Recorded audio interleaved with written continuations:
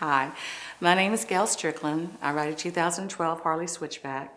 I've been riding my own for approximately seven years now.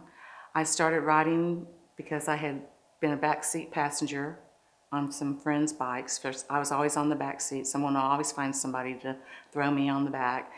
And we went to a charitable event one afternoon. And at the event, I realized this is really great. It was packed, lots of people there, having a good time, socialization, raising money, all having fun for charities. And I thought, this is awesome. This is such a great way to be out and meet nice people because you'll never meet a stranger on a bike.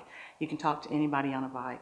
And we started, I started going to other events, and I thought this is really a super way to be able to give back to the community, raise money, and have fun at the same time.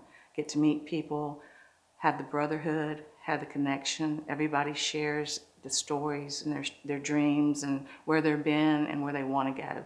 And that's how I met Be- Betsy and Bubba as I came up and to a Boswell's event where they were having a fundraiser because they support the community in so many ways and realized, hey, this is a really group, neat group of people and I want to be a part of them.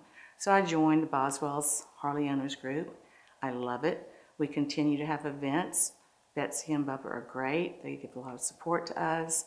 We have fun, we raise money, and it's one big happy family. And it's the best thing I've ever experienced in my life. I'll never give up the independence and the freedom and the one in nature that it gives me when I'm on a bike. And before I ever stop, they'll have to put me on a three wheeler with a crane and a crutch and a walker because I'll never give it up.